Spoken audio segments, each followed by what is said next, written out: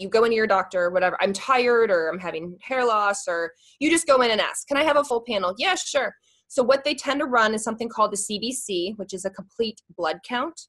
Um, it looks at your red and white blood cells and that's great but for the average person um, it doesn't give us a lot of information unless maybe you're outright anemic or maybe you have an outright infection.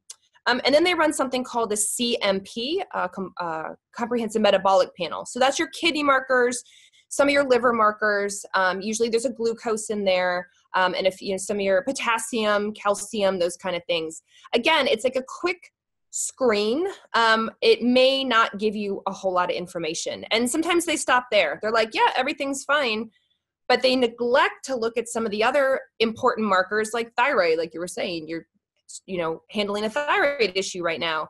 So sometimes they'll run the one screening thyroid marker called the TSH or a uh, thyroid stimulating hormone.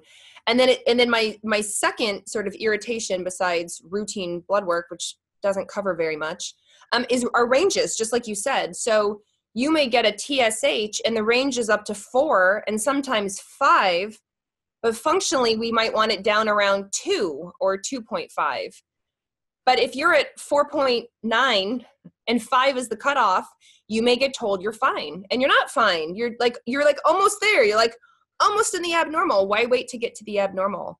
It's the same for other iron markers. Uh, a lot of functional practitioners will run, like let's say a, a ferritin, which is a marker for, for iron storage, but it's also an inflammation marker. And the range is ginormous. It's like 10 to 200. But if you're at 11, you're in range. And if you're at 199, you're in range. And you're like, oh, you're fine. You're in range. Like, no, it's a it's a 190 point spread. Like, let's we we can optimize this to optimize you and why wait? Why wait until you fall off the cliff to do something about it